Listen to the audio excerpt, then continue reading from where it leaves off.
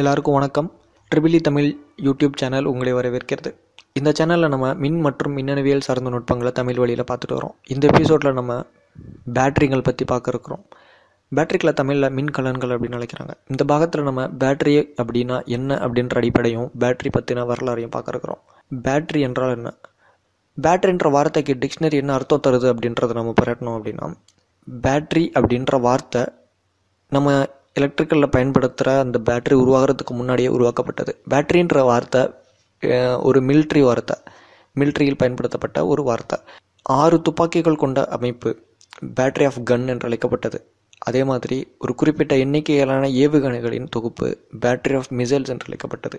ஒரு குறிப்பிட்ட பணியை செய்யக்கூடிய போர் கருவிகளின் தொகுப்பை பொதுவாக பேட்டரி அப்படின்னு அழைச்சிருக்காங்க. ஒரு குறிப்பிட்ட எண்ணிக்கையிலான படை வீரர்களின் பிரிவையுமே கூட பேட்டரி ஆஃப் ஆர்மி அப்படின்னு அழைச்சிருக்காங்க. ஸோ பேட்டரின்ற வார்த்தை ஒரு குறிப்பிட்ட எண்ணிக்கையிலான கருவிகளின் தொகுப்பு அப்படின்னு சொல்லலாம். ஒரே வேலையை செய்யக்கூடிய கருவிகளின் தொகுப்பு பேட்டரின்னு அழைச்சிருக்காங்க. ரைட் உலகின் முதல் பேட்டரி எதுன்னு பார்க்கலாம் அப்படின்னா இந்த மீன் தான். என்னடா மீனை காமிச்சு உலகின் முதல் பேட்டரின்னு சொல்கிறேன் நினச்சிடாதீங்க. எலக்ட்ரிக்கல் ஈல்ன்ற இந்த மீனுடைய உடல் அமைப்பில் எலக்ட்ரிக்கல் பேட்டரியோடைய பேட்டரியில் பயன்படுத்துகிற அதே மெக்கானிசம் சேம் மெக்கானிசம் இந்த இந்த மீனுடைய உடலில் இருக்குது பேட்டரி மீன் அப்படின்னு சொல்லலாம். இந்த மீன் வந்து தன்னுடைய உடலில் இருந்து கிட்டத்தட்ட ஐநூறு வோல்ட் மின்சாரத்தை உருவாக்கி தன்னுடைய எதிரிகளை தாக்கி அழித்து உணவாக உட்கொண்டது. ஐநூறு வோல்ட் மின்சாரத்தை ப்ரொடியூஸ் பண்ணுற பேட்டரி இந்த மீனுடைய உடலில் இருக்குது தென் ரெண்டாயிரம் வருஷத்திற்கு பழமையான எகிப்திய ஓவியங்களில் வந்து பேட்டரி பற்றின குறிப்புகள் காணப்படுது. இது உண்மையான பேட்டரி தானா அப்படின்ற கான்ஸ்பிரசிக்குள்ளே நான் வரலை. பட் இது பேட்டரி தான் அப்படின்னு சொல்லுது. அப்படின்னு சொல்லி சில பேர் சொல்கிறாங்க ஸோ அதுக்காக நம்ம இதை தெரிஞ்சு வச்சுருக்கோம். ஆயிரத்தி தொள்ளாயிரத்தி எண்பத்தி மூணில் பாக்தாத்தில் நடத்தப்பட்ட அகழ்வாராய்ச்சியின் போது ஒரு மண்கலன் கண்டுபிடிக்கப்படுது. இந்த மண்கலன் தற்காலத்தில் பயன்படுத்தப்பட்ட பேட்டரியின் அமைப்போட ஒத்துப்போகுது. இந்த மண்கலன் கிட்டத்தட்ட ஒரு அஞ்சு இன்ச் உயரம் மூணு இன்ச் அகலமுடையதா அதாவது பதிமூணு சென்டிமீட்டர் உயரமுடைய ஒரு மண்கலன். இந்த மண்கலனுக்குள்ள ஒரு செம்பினாலான அதாவது காப்பர் கப் மாதிரி ஒரு அப்பேரட்டஸ் சிலிண்டர் அதோடைய அடிபாகம் ஓப்பனாக இருக்கும்.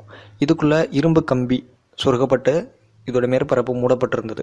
இந்த அமைப்பில் விஞ்ஞானிகள் என்ன பண்ணுறாங்க திராட்சை சாறு ஊற்றி பார்க்குறாங்க அன்னாச்சி பழச்சாறு ஊற்றி பார்க்குறாங்க இந்த மாதிரி அந்த காலத்தில் பயன்படுத்தப்பட்டிருக்கலாம் பயன்படுத்தி இருக்கலாம் அப்படின்ற ஒரு கற்பனையில் இவங்க அந்த மாதிரிலாம் செஞ்சு பார்க்குறாங்க அப்படி செய்யும் பொழுது இந்த மண்கலனுடைய வோல்டேஜை மெஷர் பண்ணி பார்த்தா கிட்டத்தட்ட அது ஜீரோ புள்ளி ஏழுலேருந்து ஒரு வோல்ட் ஒன்று புள்ளி ஒரு வோல்ட் வரைக்கும் ப்ரொடியூஸ் பண்ணுது. இதில் வினிகர் மாதிரியான அசிடிக் சொல்யூஷன்ஸை ஊற்றும் பொழுது ஒன்று புள்ளி அஞ்சு வோல்ட் வரைக்கும் உருவாகிருக்கு அந்த காலத்தில் எதுக்கு இந்த பேட்டரி பயன்படுத்தப்பட்டிருக்கலாம்? மேபி தங்கமுலாம் பூசுறதுக்கும் எலக்ட்ரோ பிளேட்டிங் அப்படின்னு சொல்லிட்டு ஆங்கிலத்தில் சொல்கிறாங்க தங்கமுலாம் பூசுறதுக்கு பயன்படுத்தப்பட்டிருக்கலாம் அப்படின்ற மாதிரியான வாதத்தை முன்வைக்கிறாங்க விஞ்ஞானிகள். ஓகே நவீன காலத்தில் பயன்படுற பேட்டரிங்களோட வரலாறை பற்றி பார்க்கலாம். எலக்ட்ரிக்கலில் பேட்டரின்ற வார்த்தையை முதல் முதல்ல பயன்படுத்தினவர் பெஞ்சமின் ஃப்ராங்க்லின் கெப்பாசிட்டருங்களோட தொகுப்பை வந்து பேட்டரி ஆஃப் கெப்பாசிட்டர் அப்படின்னு சொல்லி பெஞ்சமின் ஃப்ராங்க்லின் அழைக்கிறார். ஸோ எலக்ட்ரிக்கலில் முத மொத்த பேட்டரின்ற வார்த்தையை பயன்படுத்தினவர் பெஞ்சமின் ஃப்ராங்க்லின் பேட்டரி கண்டுபிடிக்க காரணமான நபர்களில் முக்கியமான நபர்களில் லூயி கல்வானி என்ற ஒரு ஒருத்தர். லூயி கல்வானி அடிப்படையில் ஒரு மருத்துவர். உயிரின உயிரினங்களின் உறுப்புகள் உயிரினங்களின் கை கால் போன்ற உறுப்புகள் அசைவத்துக்கு அந்த உயிரினங்களின் உடலில் உற்பத்தியாகும் மின்சாரம் தான் காரணம் அப்படின்ற மாதிரி லூயி கல்வானி நம்பினார். இந்த காலத்தில் பெஞ்சமின் ஃப்ராங்க்லின் இடின்றது மின்சாரம் அப்படின்ற விஷயத்தை கண்டுபிடிச்சி கொஞ்சம் பிரபலப்படுத்திடுறாரு. பெஞ்சமின் ஃப்ராங்க்லினுடைய அந்த பட்டம் ஓட்டுற எக்ஸ்பெரிமெண்ட்டு நம்ம எல்லாத்துக்கும் தெரிஞ்சது தான் பெஞ்சமின் ஃப்ராங்க்லின் இடின்றது மின்சாரம் சொன்ன விஷயத்தை மையமாக வச்சு இவர் என்ன பண்ணுறாரு லூயி கல்வானி இறந்து போன தவளைங்களை குக்கிங்களில் மாட்டி தாமிர கொக்கிங்கள் அதாவது காப்பர் கொக்கிங்களில் வந்து தவிர இறந்து போன தவளைங்களின் கால்களை வெட்டி எடுத்து அதனுடைய நரம்பை வந்து காப்பர் குக்கியில் மாட்டி ஒரு இரும்பு வேலியில் போய் மாட்டுறாரு மாட்டி வைக்கிறாரு. பொழுது இரும்பு வேலியில் அந்த இடி பாஞ்சு தவளையோடைய கால் அசையும் அப்படின்ற மாதிரி லூயி கல்வானி இந்த எக்ஸ்பெரிமெண்ட்டை செய்கிறதுக்கு முன் வராரு. இரும்பு வேலியில் அந்த காப்பர் குக்கிங்கில் மாட்டி வைக்கும் பொழுது நிச்சயா தவளையோட கால்கள் வந்து இரும்பு வேலியை தொடும் பொழுது தவளையுடைய கால்கள் துடிக்குது. லூயி கல்வான் என்ன நினைக்கிறாரு? இடி இடிக்கிறதுனால தான் இந்த தவளையின் கால்கள் துடிச்சது அப்படின்ற மாதிரி நினைக்கிறாரு. சில நாட்களுக்கு பிறகு அதாவது சில நாட்களுக்கு பிறகு இதே எக்ஸ்பெரிமெண்ட்டை தன்னுடைய சோதனை சாலையில் இவர் செஞ்சு பார்க்குறாரு. சேம் தவளுடைய கால்கள் துடிக்க ஆரம்பிக்குது. ஸோ இவர் என்ன ஒரு முடிவுக்கு வர்றாருன்னா உயிரினங்களின் உடலில் வந்து ஒரு மின்சாரம் இருக்கு. அந்த மின்சாரத்தின் காரணமாகத்தான் உயிரினங்கள் அசைகின்றன உயிரினங்களின் உடல் உறுப்புகள் இயங்குகின்றன. இறந்து போன பிறகும் கூட இந்த மின்சாரம் இருக்கும் அப்படின்ற மாதிரியான கருதுகோள்கள் எல்லாம் முன்வைக்கிறாரு லூயி கல்வானி. லூயி கல்வானி செஞ்ச எக்ஸ்பெரிமெண்ட்ல மிருகங்களின் உடலில் இயற்கையாகவே மின்சாரம் இருக்கு. இயற்கையாகவே இருக்கிற மின்சாரத்தின் காரணமாக தான் உடல் உறுப்புகள் இயங்குது அப்படின்ற கொள்கையை மையமாக வச்சு இவர் இறந்து போன தவளைகளின் கால்கள் நகற்றிருந்த நகற்றி காண்பிச்சதை வந்து அலெக்சாண்டர் ஓல்டா அப்படின்றவர் படிக்கிறாரு படித்து தெரிஞ்சுக்கிறாரு. அலெக்சாண்டரா ஓல்டா லூயி கல்வானியுடைய அனிமல் எலக்ட்ரிசிட்டி அப்படின்ற விஷயத்துல நம்பிக்கை இல்லாமல் இருக்கிறாரு. அந்த இறந்து போன தவளையின் கால்கள் நகர்ந்ததுக்கு அந்த தவளையின் உடலில் இருந்த மின்சாரம் காரணமல்ல பயன்படுத்தப்பட்ட அந்த மெட்டல்ல இருந்த உருவான ஒரு மின்சாரத்தின் காரணமாக தான் அந்த தவளுடைய கால்கள் இயங்குச்சு அப்படின்னு சொல்லி ஓல்டா ஒரு ஹைப்போதசிஸை உருவாக்குறாரு. அந்த ஹைப்போதசிஸை நிரூபிக்கிறதுக்காக ஓல்டா என்ன பண்ணுறாரு பல மெட்டல்கள் லூய் கல்வானி பயன்படுத்தின சேம் கைண்ட் ஆஃப் காப்பர் மற்றும் இரும்பு இதை எடுத்துட்டு தன்னுடைய சோதனை சாலையில் வந்து தவளைங்களில் இந்த எக்ஸ்பெரிமெண்ட்டை நிகழ்த்தி பார்க்குறாரு. கால்கள் துடிக்க ஆரம்பிச்சது. இந்த ஆராய்ச்சியை ஆழ்ந்து சேர்ந்து ஓல்டா மெட்டலில் பயன்படுத்தினோம். இரண்டு மெட்டல்கள் இரண்டு வெவ்வேறான உலோகங்கள் அப்புறம் தவளையின் உடலில் உள்ள உடல் திரவம். இதன் அடிப்படையில் தான் மின்சாரம் உருவாகுது அப்படின்ற ஒரு கன்க்ளூஷனுக்கு வராரு. ஸோ ஓல்டா என்ன பண்ணுறாரு இரண்டு வெவ்வேறு உலோகங்கள் அப்புறம் அதுக்கு இடையில வந்து ஒரு மின்சாரத்தை கடத்தக்கூடிய ஒரு திரவம். இந்த திரவத்துக்கு ஓல்டா வந்து பிரெயின் என்று அழைக்கப்பட்ட உப்பு கலவையில் செய்யப்பட்ட நீர். இதை பயன்படுத்துறாரு. உப்பு கலவையிலான நீர் துவைக்கப்பட்ட காகிதங்களை வந்து இரண்டு மெட்டல்களுக்கு இடையில வைக்கிறாரு. ஒரு மெட்டல் அதுக்கு நடுவுல அந்த உப்பு காகிதம் அதுக்கு மேல இன்னொரு மெட்டல் அதுக்கு மேல உப்பு காகிதம் அதுக்கு மேல இன்னொரு மெட்டல். இந்த அமைப்பை மாத்தி மாத்தி அடுக்கி அந்த காலத்துல பயன்படுத்தப்பட்ட எலக்ட்ரிக்கல் ஷாக் ப்ரொடியூஸ் பண்ணக்கூடிய கருவிகள் இருந்தது இந்த காலத்தில். ஹாக்ஸ்பியோடைய எலக்ட்ரோஸ்டாட்டிக் ஜெனரேட்டர் அப்புறம் பேட்டரியிலிருந்து ப்ரொடியூஸ் பண்ணுற மின்சாரத்தை அளவிடுறதுக்கான கருவிகள் அந்த காலத்தில் கிடையாது. But electrical impulse electrical shock போன்ற விஷயங்களை மக்கள் மத்தியில் கொடுத்து இதுலேருந்து ப்ரொடியூஸ் ஆகிறது எலக்ட்ரிக்கல் கரண்ட் தான். எலக்ட்ரிக்கல் சிக்னல் தான் இதுலேருந்து வருது அப்படின்ற உண்மையை ஓல்டா மக்களுக்கு தெரியப்படுத்துறாரு. ஓல்டா தன்னுடைய இந்த எக்ஸ்பெரிமெண்ட்டை பல உலோகங்களின் மீது பயன்படுத்தி கடைசியாக காப்பர் மற்றும் துத்தனாக இந்த ரெண்டு உலோகங்களுடைய காம்பினேஷனை வந்து அதிகமான வோல்டேஜை கொடுக்கக்கூடியது அப்படின்ற ஒரு விஷயத்த வந்து சொல்கிறாரு காப்பர் உலோகம் அதுக்கு நடுவில் ஒரு உப்பு காகிதம் அதுக்கப்புறம் ஒரு ஜிங்க் இதில் காப்பர்ன்றது பாசிட்டிவ் டெர்மினலாகவும் ஜிங்க்ன்றது நெகட்டிவ் டெர்மினலாகவும் செயல்படுகிறது. இதெல்லாம் எப்படி செயல்படுது அப்படின்ற விஷயம்லாம் நம்ம அடுத்தடுத்த பாடத்திட்டத்தில் பார்க்குறோம். இப்போ நம்ம அந்த வோல்டா செஞ்ச அதே பேட்டரியை திரும்பி நம்ம ஆராய்ச்சி செஞ்சு பார்க்க போகிறோம் வோல்டா செஞ்ச பேட்டரியை நம்ம திருப்பி செய்கிறதுக்கு நமக்கு தேவையான பொருட்கள் காப்பர் மற்றும் ஜிங்க் தகடு. ஜிங்க் தகடு கிடைக்கல அப்படின்னா இரும்பு தகடை பயன்படுத்தலாம். இரும்பு அலுமினியம் இது போன்ற உலோகங்களையும் நம்ம பயன்படுத்த முடியும். ரைட் இந்த அமைப்பை வந்து ஒரு உப்பு தண்ணியில் காப்பரையும் ஜிங்கையும் வச்சு இதை நம்ம ஒரு மல்டிமீட்டர் கொண்டு மெஷர் செஞ்சு பார்த்தோம் அப்படின்னா இது வந்து பாயிண்ட் ஏழுலேருந்து பாயிண்ட் எட்டு வோல்ட் வரைக்கும் நமக்கு வோல்டேஜை மெஷர் பண்ணும். அதாவது பாயிண்ட் ஏழுலேருந்து பாயிண்ட் எட்டு வோல்டேஜ் வரைக்கும் நமக்கு கிடைக்குது. இதை நம்ம ரீ ரிப்பீட் பண்ணுறோம் வோல்டாயிக் பைல் அதாவது வோல்டாவின் அடுக்கு இந்த முறையை பயன்படுத்தி நம்ம செய்யும் பொழுது காப்பர் தகடுகள் அதுக்கப்புறமா துத்தநாக தகடுகள் அல்லது இரும்பு தகடுகள் அப்புறம் உப்பு தடவப்பட்ட அட்டைகள். இந்த அமைப்பை நம்ம மாற்றி மாற்றி அடுக்கி இணைவை ஏற்படுத்தணும் அப்படின்னா இது ஒரு செல் ஒரு செல்லுன்றது ஒரு காப்பர் ஒரு உப்பு காகிதம் அதுக்கப்புறமா ஒரு ஜிங்க் இது கொண்டதை ஒரு செல் அப்படின்றோம். இந்த ஒரு செல் பாயிண்ட் ஏழுலேருந்து பாயிண்ட் எட்டு வரைக்கும் வோல்டேஜ் ப்ரொடியூஸ் பண்ணுது. இது மாதிரி நம்ம நிறையா செல்லுகள் அடுக்கும் பொழுது நமக்கு ஒரு பேட்டரி கிடைக்குது. பேட்டரி அப்படின்றது என்னன்னா பல செல்களின் தொகுப்பு. இதுதான் பேட்டரி ரைட் ஒரே வேலையை செய்யக்கூடிய ஒன்றுபட்ட கருவிகளின் தொகுப்பை பேட்டரி அப்படின்னு அந்த காலத்தில் அழைச்சாங்க. இப்போ பேட்டரின்றது என்னன்னா வோல்டேஜ் தரக்கூடிய சின்ன சின்ன எலக்ட்ரோகெமிக்கல் செல்லுகளின் தொகுப்பு. பேட்ரி அப்படின்னு வோல்டா கண்டுபிடிச்ச இந்த செல் வந்து ரொம்ப ரிலேபிளாக இல்லை. அதாவது ஒன்றுல இருந்து ரெண்டு மணி நேரம் மட்டுமே செயல்படக்கூடியதாக இருந்தது. இதில் உள்ள குறைன்னு பார்க்கும் பொழுது லீக்கேஜ் அதாவது இதில் பயன்படுத்துகிற அந்த உப்பு திரவம் வந்து பட பயன்படுத்துகிற மெட்டல்களுக்கு இடையில் வந்து லீக் ஆகுது. இதை ஓவர் கம் பண்ணணும் அப்படின்னு சிந்திச்ச நபர்களில் முக்கியமானவர் வில்லியம் குரூக்ஷாங்க் அப்படின்றவர்.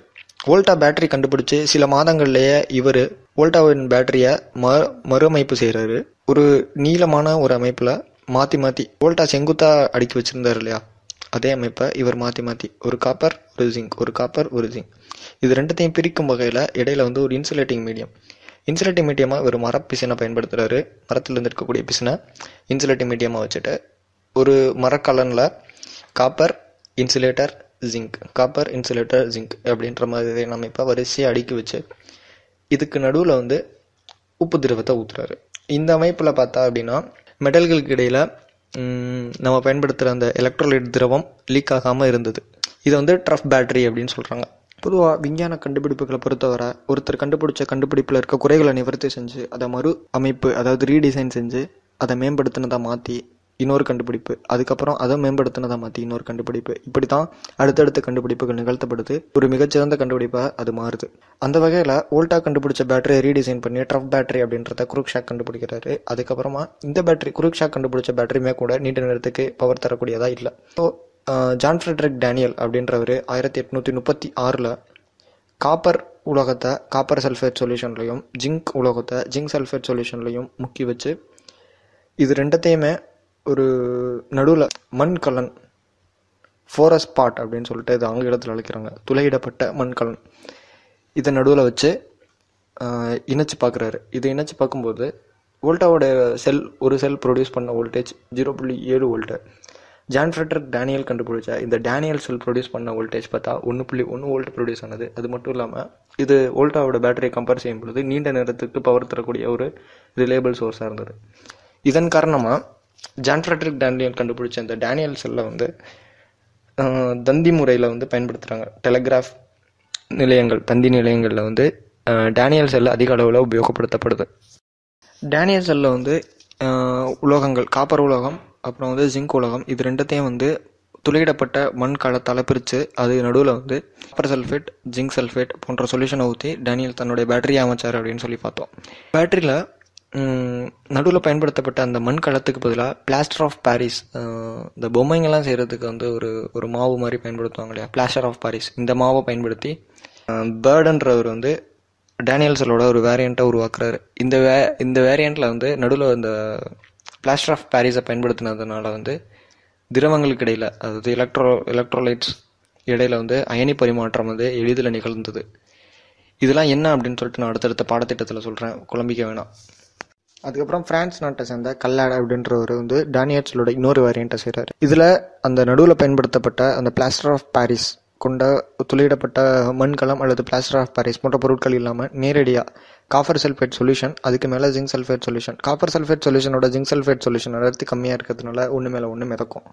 முதல்ல இந்த அமைப்பை அவர் ஏற்படுத்துறதுக்கு என்ன பண்ணுறாரு முதல்ல காப்பர் எலக்ட்ரோட வந்து அடியில் வச்சிடுறாரு அடிப்பரப்பில் இதுக்கப்புறம் இதை காப்பர் சல்ஃபேட் சொல்யூஷனால் நிரப்புறாரு. அதுக்கு மேலே ஜிங்க் சல்ஃபைட் சொல்யூஷனை ஊற்றுறாரு ஸோ இந்த வேரியண்ட்டோட அட்வான்டேஜ் அப்படின்னு பார்க்கும்பொழுது பேட்டரி டிஸ்சார்ஜ் ஆயிடுச்சு அப்படின்னா இது ரெண்டு திரவங்கள் பேட்டரி தன்னுடைய ஆயுளை இழந்துருச்சு பேட்டரியிலேருந்து ப்ரொடியூஸ் ஆகக்கூடிய அந்த ஒன்று புள்ளி ஒன்று வோல்ட் குறைய ஆரம்பிச்சது அப்படின்னா இந்த திரவங்கள் ஒன்றோட ஒன்று கலக்க ஆரம்பிச்சிடும் அதுக்கப்புறம் இதை திருப்பி இந்த திரவங்களை மட்டும் நம்ம ரீஃபில்லிங் பண்ணிக்கிட்டால் இதை தன் ஒன் புள்ளி ஒன்று வோல்ட்டை திருப்பி ப்ரொடியூஸ் பண்ண ஆரம்பிக்கும். ஸோ டேனியல் செல்லை பயன்படுத்தின டெலிகிராஃப் கம்பெனிஸ் வந்து இந்த செல்லை பயன்படுத்த ஆரம்பித்தாங்க அதுக்கப்புறமா.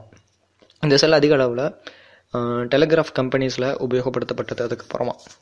எலக்ட்ரிக்கல் வளர்ச்சியடைய ஆரம்பித்த இதே காலகட்டத்தில் தான் எலக்ட்ரிக்கல் ஜெனரேட்டர்ஸும் வளர்ச்சியடைய ஆரம்பிச்சிருந்தது. ஆயிரத்தி எட்நூற்றி ஐம்பதுகளுக்குள்ள டிசி ஜெனரேட்டர்ஸ் கண்டுபிடிக்கப்பட்டிருந்தது. விஞ்ஞானிகள் என்ன நினச்சாங்க அப்படின்னா பேட்டரியில இருந்து கிடைக்கக்கூடிய பவரை நீண்ட நேரம் தர மாதிரி வைக்கணும் அப்படின்னா ஏதாவது செய்யணும் அப்படின்ற மாதிரியான சிந்தனைகளை ஈடுபட்டிருந்த போது ஆஸ்டன் பிளான்ட்ன்றவர் இப்படி ஒரு விஷயத்த யோசிக்கிறாரு.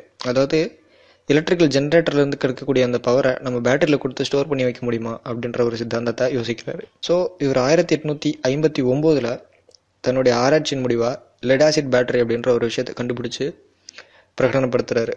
இந்த பேட்டரியில் வந்து லெட்டு வந்து நெகட்டிவ் டெர்மினல் லெட்டு வந்து தமிழில் காரியம் அப்படின்னு சொல்கிறாங்க இந்த உலகத்தை வந்து நெகட்டிவ் டெர்மினலாகவும் லெட் டை ஆக்சைடு அப்படின்ற ஒரு விஷயத்த பாசிட்டிவ் டெர்மினலாகவும் இது ரெண்டுத்துக்கும் இடையில் பயன்படுத்தப்பட்ட மின்பகுதி திரவமாக அதாவது இந்த அயனிகளை கடக்க கடத்துறதுக்கு யூஸ் பண்ணக்கூடிய இந்த திரவமாக மின் பகுதி திரவமாக சல்ஃபியூரிக் ஆசிடை வந்து யூஸ் பண்ணுறாரு தினமுமே கூட நம்ம லெடாசிட் பேட்டரியை நம்ம பயன்படுத்திட்டு இருக்கிறோம். லெடாசிட் பேட்டரியிலிருந்து கிடைக்கக்கூடிய வோல்டேஜ் வந்து இதுக்கு முன்னாடி கண்டுபிடிக்கப்பட்ட செல் வோல்டேஜை விட அதிகமானதாக இருந்தது. அதாவது லெடாசிட் பேட்டரியில் பயன்படுத்தப்பட்ட அந்த ஒரு செல் லெட் அப்புறம் lead dioxide hydro sulphuric acid H two S O four இந்த மூணு கொண்ட ஒரு செட் ஆஃப் செல் ப்ரொடியூஸ் பண்ணுற வோல்டேஜ் ரெண்டு வோல்டேஜ் இருந்தது. மற்ற சிலங்களை விட இது அதிகமான வோல்டேஜ் தான். ஆறு செல்கள் கொண்ட தொகுப்பில் இருந்து உருவாக்கக்கூடிய பன்னிரெண்டு வோல்ட் லெடாசிட் பேட்டரி மிக பிரபலமானது. ஸ்டில் நோ நம்ம ஆசிட் பேட்டரி யூஸ் பண்ணிகிட்டு இருக்கிறோம். நம்ம வீட்டில் பயன்படுத்துகிற இன்வெர்ட்டர்ஸ் அப்புறம் காரு பைக்கு இது மாதிரி வாகனங்களில் பயன்படுத்துகிற பேட்டரி இதெல்லாம் வந்து லெட் ஆசிட் பேட்டரி தான். அதிகமான சர்ச் கரண்ட் தேவைப்படுற இடங்களில் வந்து நம்ம லெடாசிட் பேட்டரி தான் இன்னமும் நம்ம பயன்படுத்திட்டு இருக்கிறோம். ஆயிரத்தி எட்நூத்தி அறுபத்தி ஆறில் ஜார்ஜஸ் லெக்லாஞ்சின்றவர் ஒரு செல்லை உருவாக்குறாரு. மற்ற செல்லுங்கள்ல இருந்து இந்த செல்லுக்கு ஒரு வித்தியாசம் உண்டு. மற்ற எல்லாருமே எலக்ட்ரோலைட்டிக் சொல்யூஷனாக வந்து ஒரு திரவத்தை தான் பயன்படுத்தியிருந்தாங்க. முதன்முறையாக எலக்ட்ரோலைட்டுக்கு திரவத்துக்கு பதிலா பதிலாக ஒரு திண்மமான மெட்டீரியல் ஒரு சாலிட் மெட்டீரியலை லெக்லாஞ்சி பயன்படுத்துறாரு. செல்லில் பயன்படுத்தக்கூடிய அந்த இரண்டு மெட்டல் பார்த்தீங்கன்னா கார்பன் அண்ட் ஜிங்க் கார்பன்னா கரித்துகள். ஜிங்க்னு தூத்தநாகத்துண்டு. இதில் அந்த கார்பன் ராடை வந்து ஒரு மேங்கனீஸ் டை ஆக்சைடு மற்றும் கரித்துகளான ஒரு அமைப்புக்கு நடுவில் சொருகி வைக்கிறார் இந்த அமைப்பை வந்து ஒரு ஃபோரஸ் பாட் என்று அழைக்கப்பட்ட மண் குடுவையில் வச்சு அந்த அப்பேரட்டஸை ஒரு அமோனியம் குளோரைடு சொல்யூஷன் கொண்ட ஒரு குடுவையில் வைக்கிறார் அமோனியம் அமோனியம் குளோரைடு குழுவையில் நேரடியாக ஜிங்க் ராடை முக்கி வைக்கிறார்.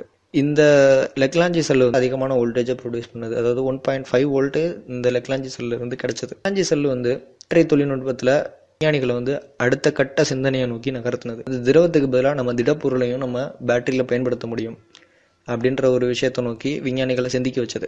போர்ட்டபிள் பேட்டரிகளோட கண்டுபிடிப்புகளுக்கு லெக்லாஞ்சி செல் ஒரு வழிகோலதாக அமைஞ்சது.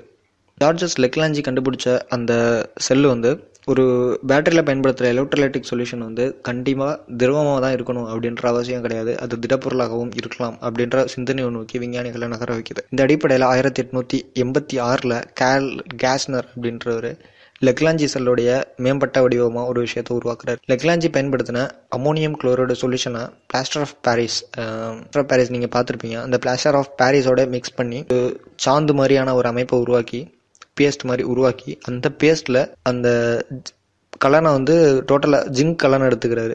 துத்தநாகத்தால் ஏற்படுத்த உருவாக்கப்பட்ட ஒரு கலனில் இந்த அமோனியம் குளோரைடு சொல்யூஷனை ஊற்றி அதுக்கு நடுவில் வந்து லெக்லாஞ்சி செல்லில் பயன்படுத்தப்பட்ட மற்ற பொருட்கள் எல்லாம் கரி அப்புறம் மெக்னீஸ் டை ஆக்சைடு அதுக்கு நடுவில் கார்பன் ராடு இது எல்லாத்தையும் வச்சு ஒரு பேட்டரி அமைப்பை செய்கிறாரு முதல் ட்ரை செல்லில் கண்டுபிடிச்சவர் கேரல் கேஸ்னர் தான். இதுக்கு வந்து லெக்லாஞ்சி கண்டுபிடிச்ச அந்த மின்கலம் உதவியாக இருந்தது. கேரல் கேஸ்னர் கண்டுபிடிச்ச அந்த ட்ரைசல் நிறைய போர்ட்டபிள் அப்ளிகேஷன்களில் பயன்படுத்த ஆரம்பிச்சது. பேட்டரி விளக்குகள் இது மாதிரி ஏகப்பட்ட விஷயங்கள் கண்டுபிடிக்கப்பட்டது வரிசையாக.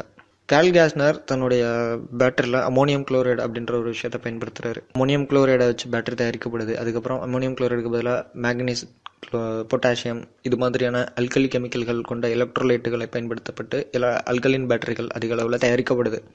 அல்கலின் பேட்டரிகள் எல்லாம் போர்ட்டபிள் பேட்டரியாக இருந்தது. அதுக்கப்புறம் அடுத்தடுத்து நிறைய விஞ்ஞானிகள் தாங்க பயன்படுத்துகிற அந்த எலக்ட்ரோடுகள் அதுக்கப்புறம் நடுவில் பயன்படுத்தக்கூடிய மின்பகுளி திரவங்கள். இதை மட்டும் மாற்றி மாற்றி நிறைய பேர் ஆராய்ச்சி பண்ணி அடுத்தடுத்து நிறைய பேட்டரிகளை கண்டுபிடிக்கிறாங்க. ஆயிரத்தி எட்நூற்றி தொண்ணூற்றி ஒம்போதில் நிக்கல் கேட்மியம் பேட்டரி கண்டுபிடிக்கப்படுது. ஆயிரத்தி தொள்ளாயிரத்தி மூணில் எடிசன் நிக்கல் மற்றும் அயன் எலக்ட்ரோடு நிக்கல் அப்புறம் இரும்பு. இது ரெண்டத்தை பயன்படுத்தி ஒரு பேட்டரியை தயாரிக்கிறார். அதுக்கப்புறமா நிக்கல் மெட்டல் ஹைட்ரைட் பேட்டரிகள் என்ஐஎம்ஹெச் அப்படின்னு இதை ஷார்ட்டாக அழைக்கிறாங்க. ஆயிரத்தி தொள்ளாயிரத்தி அறுபத்தி ஏழில் தயாரிக்கப்படுது. நிக்கல் ஹைட்ரஜன் பேட்டரிகள் ஆயிரத்தி தொள்ளாயிரத்தி எழுபதுகளில் வருது. முதல் முதல்ல சேட்டலைட்டுகளில் பயன்படுத்தப்பட்ட பேட்டரி நிக்கல் ஹைட்ரஜன் பேட்டரிகள் தான். அதுக்கப்புறமா ஆயிரத்தி தொள்ளாயிரத்தி தொண்ணூறுகளில் லித்தியம் அயன் பேட்டரிஸ் உருவாக்கப்படுது. தென் ஆயிரத்தி தொள்ளாயிரத்தி தொண்ணூறுகளில் லித்தியம் பாலிமர் பேட்டரிகள் பயன்படுத்தப்படுது. Lithium ion battery lithium polymer battery இவைகள்லாம் வந்து செல்ஃபோனில் அதிக அளவில் பயன்படுத்தப்படுது. இந்த பேட்டரிகள் வகைகள் இந்த பேட்டரிகள்லாம் என்னென்ன பேட்டரி எப்படி வேலை செய்யுது அப்படின்ற விஷயத்தெல்லாம் நம்ம அடுத்த படத்தில் பார்க்கலாம். வீடியோக்களை உடனுக்குடன் பெற சப்ஸ்கிரைப் பட்டனை அழுத்துங்கள். இந்த வீடியோவை பொறுமையாக கேட்டதுக்கு நன்றி. கருத்துக்கள் சந்தேகங்கள் மற்றும் விமர்சனங்கள் வரவேற்கப்படுகின்றன. உங்களுடைய கருத்துக்களை நீங்கள் என்னுடைய இமெயில் ஐடிக்கு தெரிவிக்கலாம் அல்லது யூடியூப்பில் நேரடியாக கமெண்ட்டுகளாக தெரிவிக்கலாம். அல்லது நம்மளுடைய ஃபேஸ்புக் குரூப்புகளில் இணைஞ்சு ஃபேஸ்புக் வாட்ஸ்அப் குரூப்புகளில் இணைஞ்சு உங்களுடைய கருத்துக்களை நீங்கள் தெரிவிக்கலாம். நன்றி.